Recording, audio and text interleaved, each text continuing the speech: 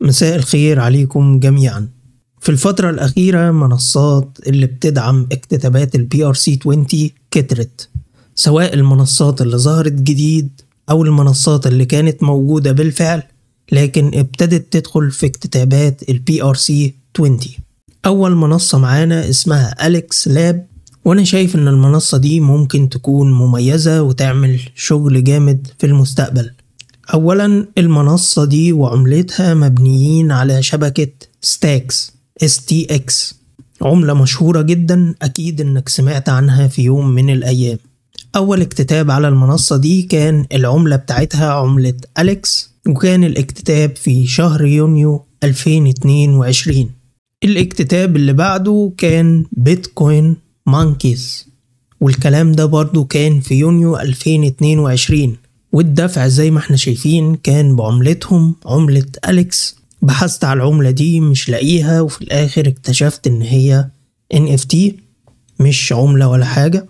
الاكتتاب اللي بعد كده كان بعد آخر اكتتاب بأكتر من سنة في أغسطس 2023 يعني لما ابتدت موجة ال BRC 20 تظهر من جديد فكان في اكتتاب اسمه Ordmint وكان الاكتتاب بثلاث أصفار 38 العملة مش موجودة على شبكة الإيثيريوم فقط موجودة على ال UniSat. أول ما العملة نزلت كانت بتتباع بأكتر من عشر أضعاف كانت اتباعت بصفرين ستة وستين ولحد النهاردة بتتباع بثلاث أصفار خمسة يعني ما زالت فوق سعر الاكتتاب. فده كان مشروع BRC 20 بعد كده باعوا مشروع بس مش BRC 20 هو حاجة اسمها Ordinals project تقريبا project على ال Ordinals لكن أنا مش لاقي العملة دي اسمها Blue Wheel لا هي موجودة في ال UniSat market بتاع ال BRC 20 ولا هي موجودة حتى على ال CoinMarketCap فتقريبا دي حاجة تانية خالص غير ال BRC 20 زي ما قلنا المنصة دي مش بس مختصة في ال BRC 20 فقط. بعد كده اكتتاب كامكا.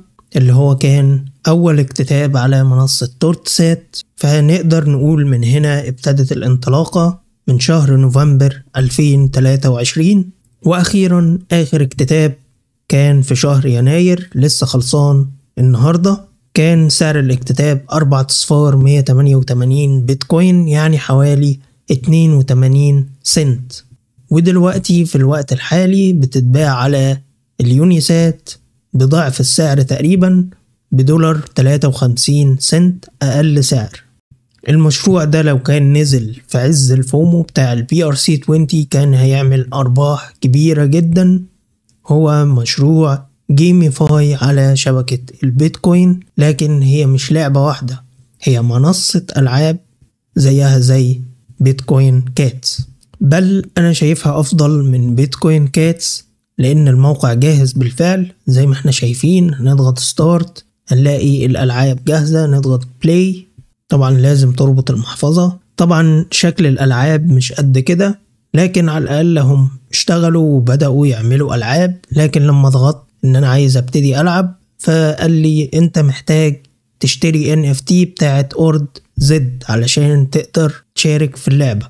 وراح محولني على صفحة ال NFT زي ما إحنا شايفين. محتاج تمتلك أي من هذه ال NFT علشان تلعب اللعبة. فممكن إن Bitcoin Cats تعمل نفس الحركة. ومن هنا ندرك أهمية بيع ال NFT بتاع ال Bitcoin Cats ممكن يبقى عليها طلب فعلا لأن ممكن علشان تلعب اللعبة مش هيطلب منك عملات One Cat ممكن يطلب لازم يكون في محفظتك NFT فبالتالي ممكن فعلا سعرها يعلى جدا. لكن للأسف اللي مطروح للبيع هم 10000 NFT بتوع وان كات على منصة بيكري. زي ما إحنا عارفين يوم 7 أو 8 يناير تقريبا. لكن إحنا نتمنى إن منصة بيكري تغير النظام بتاعها وهم قالوا إن هم ينظروا في الأمر بعد ما سمعوا كلام الناس إن الناس مش عاجبها النظام غير عادل بالمرة.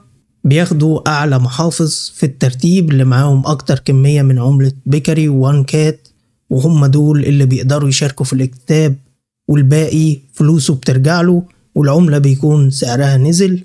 فهم قالوا هينظروا في الموضوع ويغيروا النظام. جايز يطلبوا stake مثلا لعملة Bakery أو تكون بنظام أفضل من الموجود حاليا.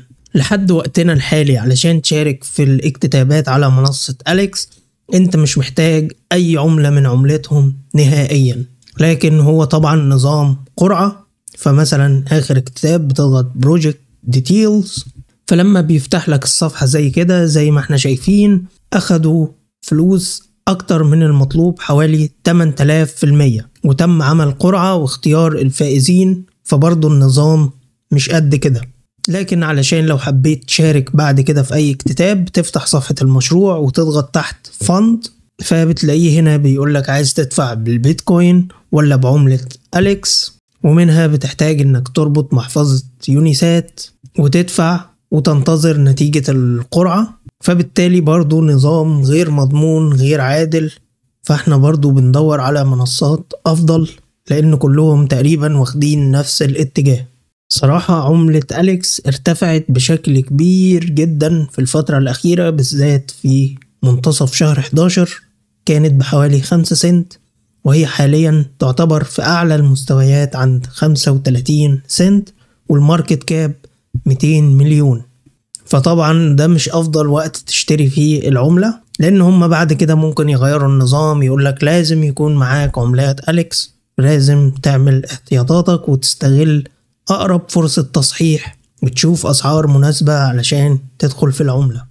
المنصة اللي بعد كده ظهرت معانا على الخط جديد منصة ديجو. هي منصة قديمة لكن فتحت قسم لل BRC 20 أول لما بتفتح الموقع بيكون معاك بالشكل ده. فأنت بتضغط على كلمة دلتا. قسم دلتا هو اللي فيه ال launchpad بتاع ال BRC 20 ده أول اكتتاب على المنصة. اكتتاب اسمه بنانا. هنيجي للمشروع ده حالا. المنصة أنا شايف إن هيكون فيها عدالة شوية لو استمرت بالنظام ده. إنك بتاخد حصة محددة على حسب فئتك عندهم خمس فئات بتبدأ من 200 عملة لحد أقصى شيء 5000 عملة.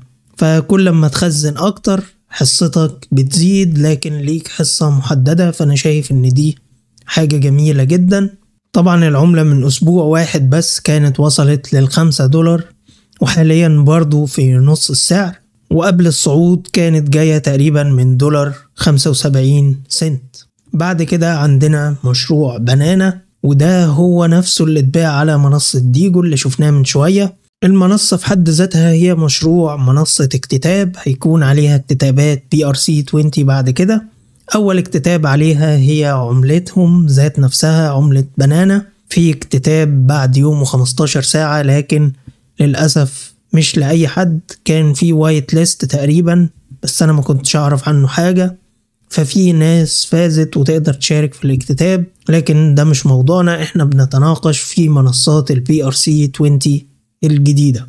علشان نكون في الصورة سعر العملة في الاكتتاب هيكون سنت ورمز العملة BNAN علشان لو عايزين نشوف العملة دي بعد الإدراج ونجمع منها علشان نشارك في اكتتابات المنصة دي بعد كده. لسه مفيش نظام واضح ولا أي حاجة لكن أكيد هيدخلوا عملتهم في الموضوع.